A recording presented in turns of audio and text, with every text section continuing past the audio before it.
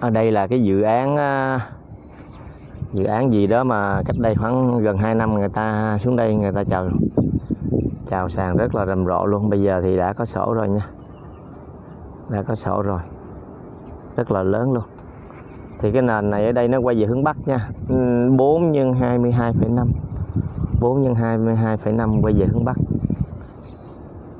Chủ đang à, chốt giá là 950 quay về hướng Bắc nha chủ đang chốt giá là 950 4 nhân 22,5 theo đường này là đi ra đường lộ lớn là đường 833B đó.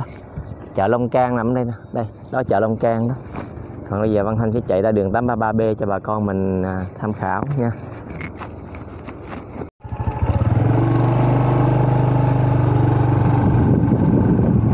Nó kế cái nhà nghỉ Thủy Tiên nha kế bên nhà nghỉ Thủy Tiên thì Văn Thanh sẽ chạy ra rồi Văn Thanh sẽ đảo lại một vòng ha. Đảo lại một vòng cho bà con mình tham quan. Tham quan cái dự án này.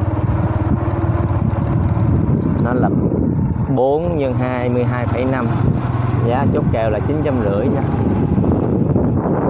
Đây là cái ờ, cổng đi đường phía trước là đường 833B đây là gần phà à, gần phà Long Can đó đầu đường có một cái à, khách sạn rất là lớn để bà con mình nhận dạng nha.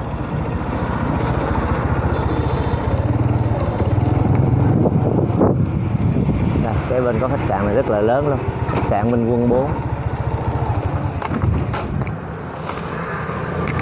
lát Văn Thanh sẽ chạy vô để giới thiệu thêm ở đây mình đi uh, chừng hai ba trăm mét thôi là bên uh, tay phải nó có cái uh, chợ Long Can nằm đây. Đi sẵn là xuống phà đi uh, Tân Trụ luôn. Có bản đi vào nhà nghỉ Thủy Tiên nha. Đây kế bên nó có khách sạn Minh Quân rất là lớn luôn. Đường uh, đường này mình chạy khoảng chừng uh, đâu bảy cây số. 7 7 8 cây 7 8 cây thôi là đi ra tới uh, quốc lộ 1A kế bên đó có chợ Long Can cũ nằm đó đó ở đây là đường tỉnh lộ 833B địa phận của xã Long Can huyện Cần Đức, tỉnh Long An. Đây bà con đi ngang thấy cái khách sạn Minh Quân rất là rộng lớn nha. À, bây giờ mình sẽ chạy ngược vào để cho bà con mình tham quan cái dự án của mình. Đã có sổ rồi nha. Theo cái đường tránh này đi vô mình rẽ qua tay trái là tới miếng đất của mình. Rất là gần.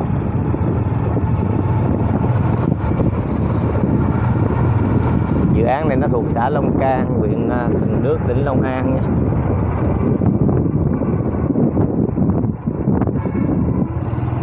Đây mình quẹo qua nhà nghỉ Thủy Tiên. Rồi đất mình là cái dãy này này nha, hướng bắc, quay về hướng bắc, cái dãy bên đây. Cùng dãy với à, nhà nghỉ Thủy Tiên luôn nha. Cho nên mình gần gần đâu đây đây chỗ này rồi, bà con mình tham khảo. Bây giờ mình anh chạy một vòng vô cái khu này cho bà con mình tham quan.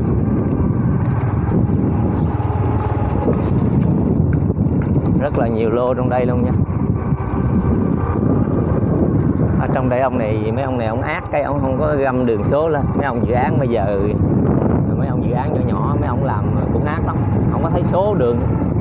Nhiều khi ờ, bà con đầu tư ở Sài Gòn gửi Zalo về muốn tìm, muốn mệt luôn có mấy dự án lớn lớn thì ờ, nó có để bản mấy dự án nhỏ nhỏ nhỏ nhỏ, cái chừng ờ, ờ, một hai mẫu vậy thì không thấy để.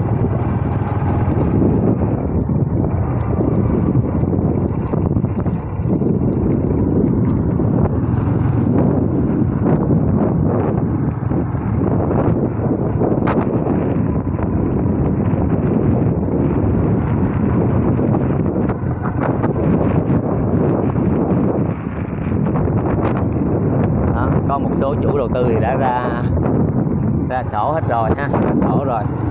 Giờ ta gửi lại. Giờ bà con mình mua qua phải chấp nhận chịu mắc một chút ha. Bây giờ có vô công ty cũng giá đó tại vì thời điểm người ta mua là đất còn là là đang là đất lúa đang đang ra sổ. Thời điểm đó người ta chịu khó người ta đầu tư vô. Có nhiều người nhát á, thì không dám đầu tư sợ bị mất tiền. Sợ đưa vô công ty rồi ờ, sợ bị lừa đảo như Alibaba này nọ thì ờ, không dám đầu tư vô, nhưng mà giai đoạn này bắt buộc phải mua qua những người à, đầu tư thời điểm đầu, nha. Bây giờ có vô thẳng cái vô công ty thì bà con cũng phải chấp nhận mua qua cái giá này thôi. Lúc mà ta bán lúa non mà đang còn đất lúa mà mà vô mình đặt cọc để mình đợi ra sổ thì à, nó rẻ ha, nó rẻ nhưng mà bà con à, thì lại sợ rủi ro, không dám không dám bỏ tiền đặt cọc. Bây giờ đây một hàng thì là có sổ riêng ha riêng hết xây dựng ngay